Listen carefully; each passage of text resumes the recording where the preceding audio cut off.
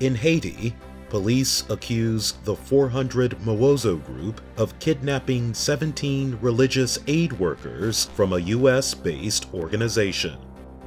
In Vietnam, at least three people are killed in floods and landslides after heavy rain over the weekend.